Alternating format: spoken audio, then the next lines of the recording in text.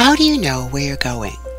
If you were going somewhere, you might type the name of the place or address into the computer to get a map.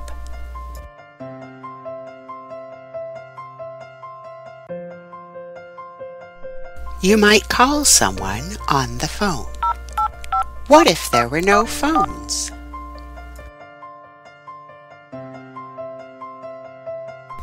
What if there were no computers? Then, how would you know where you were going?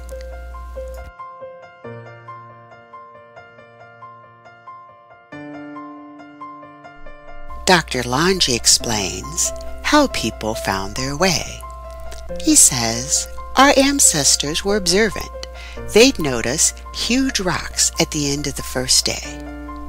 If it was an eight day journey, they would know they were one eighth of the way home.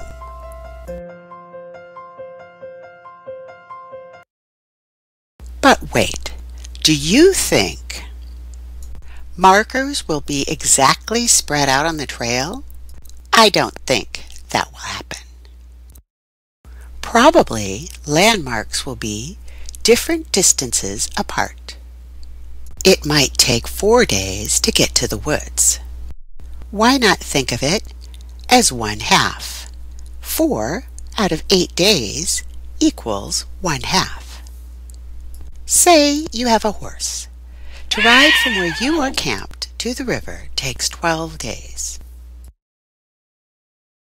On day one of your journey, you see three rocks. After four days, you see a small lake. After six days, you see a huge clump of bushes. You know that six twelfths is the same as one half. Observe, you're halfway there. After 10 days, you see a bigger lake with trees around it. 10 twelfths means you are getting close.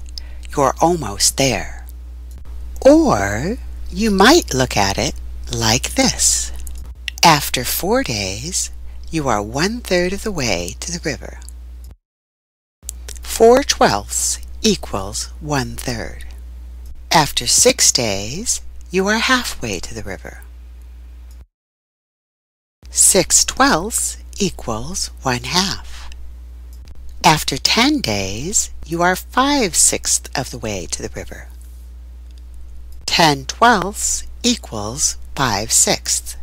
By understanding fractions, you're able to know where you are going. No computer required.